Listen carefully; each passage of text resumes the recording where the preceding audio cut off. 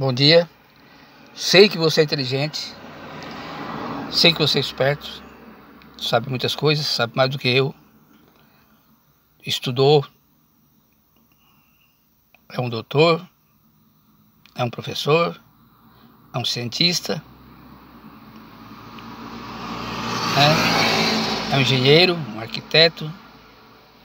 Mas, com toda a sua experiência, toda a sua inteligência, você é um alcoólatra.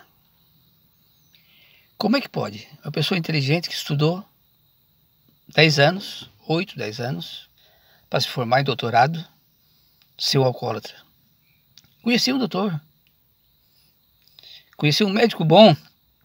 Nossa, é, no hospital ele era famoso. Não vou citar o nome para não me complicar. Conheci ele. Morreu da cachaça. Morreu do uísque, né? O médico morre de uísque. Não é cachaça. Então veja como é terrível. Um doutor formado e perder pro álcool. Para vocês verem que não tem dinheiro que pague uma, uma vida. Dinheiro não paga. Não cura o alcoolismo. Aqui, ó. Que está dentro da sua cabeça. Pensamento positivo, meu amigo. Que é isso?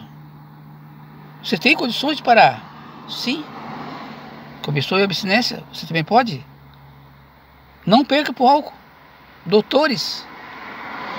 Bêbados. Que é isso? Não. Não é assim que funciona a vida.